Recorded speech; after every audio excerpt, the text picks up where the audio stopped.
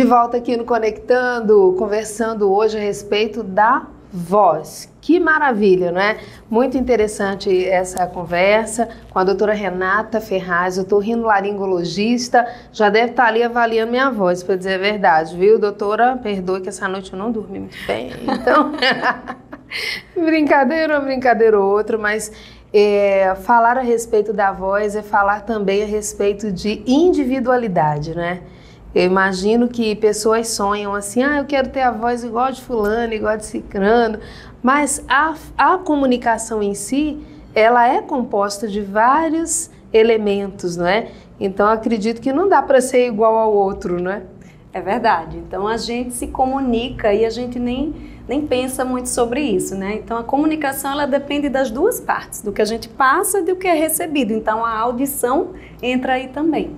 E a linguagem, a gente emite maior parte do que a gente passa, é muito mais não verbal do que verbal. Estamos aqui sentadas numa postura, então tudo isso está passando uma mensagem, né? E o que a gente fala também. Então não é incomum às vezes alguém falar algo e a gente não captar o que ela falou com o que ela está realmente passando. Então, tudo isso é muito importante, principalmente nessa época de rede social, todo mundo falando o que é que a gente quer passar, né?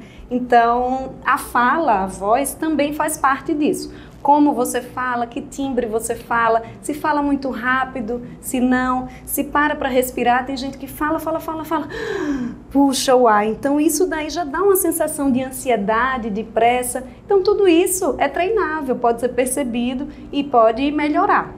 Os fonos estão aí para ajudar. Então, é, você falou de individualidade, isso é muito importante. Então, vocês devem escutar aí a voz da Edjane sem vê-la e já reconhece. Então, as vozes, elas são únicas. Cada um tem a sua voz. Você já pensou nisso? Quão especial é a sua voz? Então, todos nós temos uma voz. Ela pode mudar um pouco com a idade, com o sono, com a alimentação, com algumas questões, mas no geral a gente tem um timbre, uma frequência comum de fala. Existem pessoas que imitam outras, né? Que, que imitam vozes. E claro que isso existe um limite também. Essa pessoa consegue imitar algumas vozes, mas não é 100%.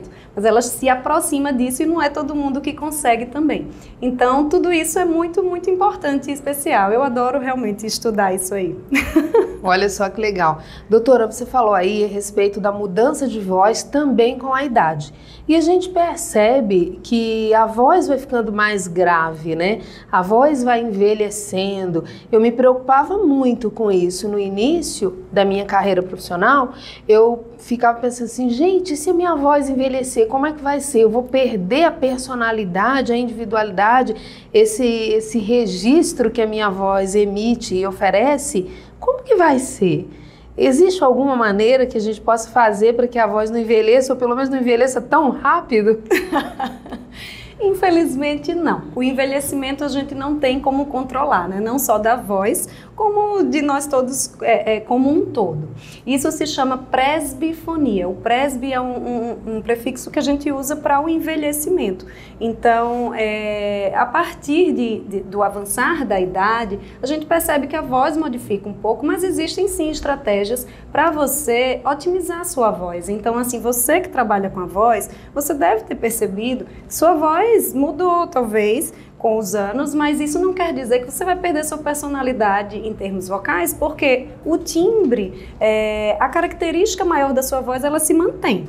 Ela só altera um pouco realmente a frequência. E isso ainda assim pode ser melhorado com fonoterapia se causar algum problema maior.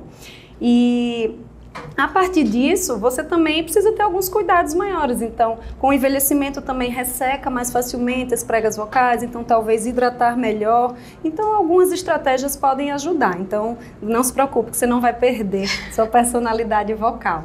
Imagina, né? A preocupação é grande com isso, quando a voz é tão importante. E até nós mulheres, as questões hormonais alteram bastante também, né? Menstruação, quando para de menstruar, então até o período próximo de menstruar, a voz pode alterar. Eu converso com algumas cantoras que sentem isso. Então também tem algumas estratégias para tentar atingir aquela, aquela voz que você quer em momentos que talvez não sejam os melhores. E trabalhar a voz também, né, pode fazer a gente mudar essa, esse estilo, esse jeito de falar, né? No início eu trabalhei muito a minha voz. Quem escuta as gravações que eu fazia antigamente no início da, da, profissão nem reconhece, na verdade, que sou eu mesmo. Parecia que eu tinha um pregador no nariz, né? E inacreditável o que o trabalho vocal consegue entregar, não é? Amplia, você começa a ter é, maiores possibilidades dentro da, da sua voz. Então você consegue ampliar isso, então você não fica só com aquela opção que você aprendeu lá no início. Inclusive, você falou isso, quem escuta, deve ser interessante porque vocês também já perceberam que a gente escuta a nossa voz diferente das outras pessoas, isso. né? A gente vai escutar nossos áudios e às vezes nem reconhece. Então, também isso influencia. Tem assim, na verdade, eu fiz um trabalho de acostumar a me ouvir. Isso. Porque no início a gente não gosta daquilo é. que a gente ouve. E aí muitas pessoas dizendo assim: "Nossa, tá bacana essa gravação, tá legal, gostei". E aí eu questionava assim: "Nossa, como que essa pessoa tá elogiando, tá gostando tanto de algo que eu tô gostando pouquíssimo?" que nem tô gostando na verdade, né? Aí eu entendi que eu precisava me ouvir mais para me adaptar àquele, àquele som que é como você falou, as pessoas ouvem de uma forma e nós ouvimos de outra forma, a mesma coisa. É, e isso é muito interessante, porque na verdade a gente emite o som e o que a gente escuta, o som ele vem por via aérea, ou seja, ele está aqui no ambiente, e o som ele também passa pelos ossos. Ou seja, uma pessoa que não escuta por via aérea, que ela tem algum bloqueio, algum problema, ela pode escutar via óssea ou fazer estímulos via óssea. Então, nós, quando falamos, a gente escuta a via aérea do que a gente emite e vai para o ouvido, mas a gente também transmite isso para o ouvido via óssea. Então, quem escuta a gente só escuta a por via aérea. Via. Então, isso realmente dá uma modificação. Mas a maioria das pessoas realmente não gosta. Então é interessante sim se habituar, porque na verdade é, não muda. O importante é você aceitar o que você tem, melhorar o que precisa e seguir a vida. Olha só, né? E gostar de você, né? É importante. Sim, você tem que gostar aceitar. da sua voz. O emocional é, interfere muito na voz também, né, doutora? Com certeza. O emocional pode tirar sua voz, inclusive. Tem pessoas que param de falar. Tem problemas que fazem com que a pessoa pare mesmo de falar. Então, é, um dia que você está mais apreensivo, você pode tremer a voz, você pode ficar com a voz entrecortada. Então, tudo isso pode influenciar bastante. Quero dica para quem está lá do outro lado assistindo a gente, né? Dicas para melhor tratar a voz, dicas para poder permanecer com a voz limpa, bonita, bem colocada. Como é que faz? Primeiro, como falamos, eu acho que se aceitar é, se abrir né, para falar mais, se expressar mais e emitir o que você quer é, trazer como, como mensagem mesmo. Então, lembrar que a voz faz parte da comunicação, mas não é tudo.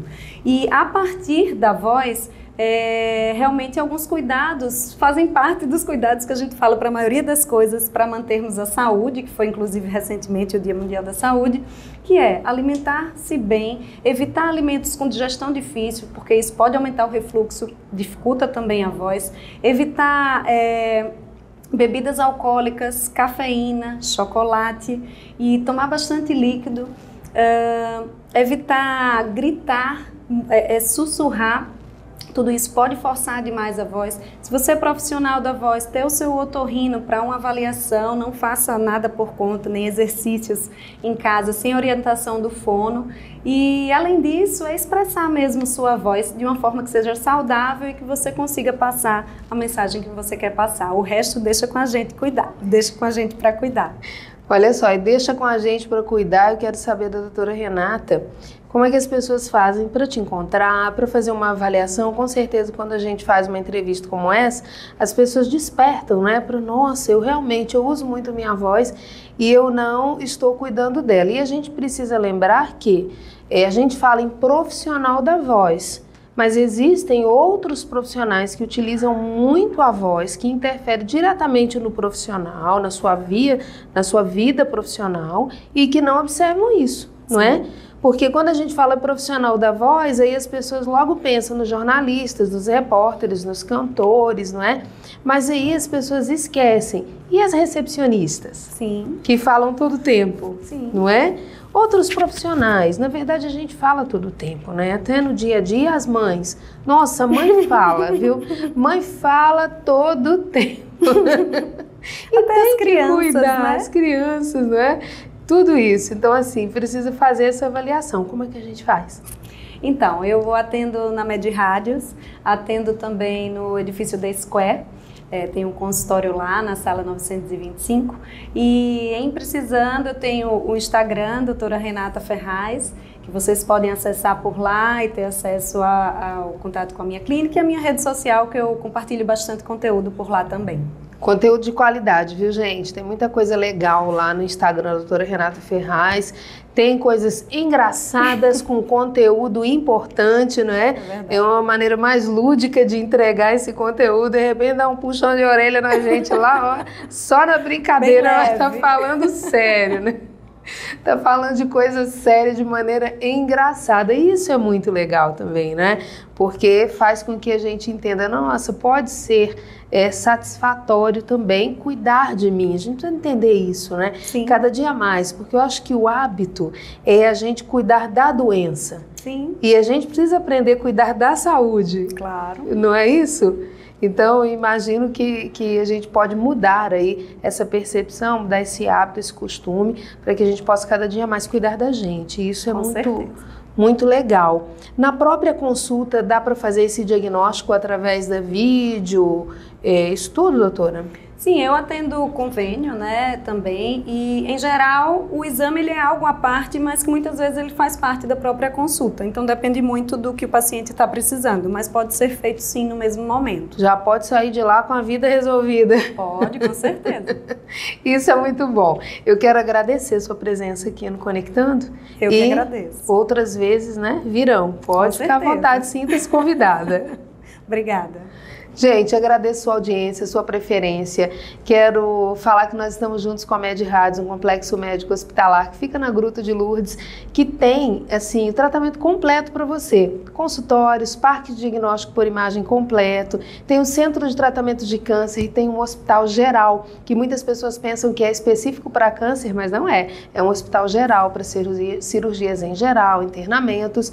Med Rádios e você juntos pela vida. Estamos juntos com a Miss Chloe, Miss Chloe é uma loja de roupas bem legal, com números plus size, que fica na Avenida Amélia Rosa, na Galeria Divina, loja 5, e estamos bem acompanhados com a Agência Paradise. E gravando esse programa nesse ambiente super agradável do Petit Sucré. Hum, que delícia, viu? Petit Sucré, que também fica aqui na Avenida Amélia Rosa, um lugar muito agradável, inclusive para você fazer um pequeno evento. Fica muito bom. A gente volta amanhã.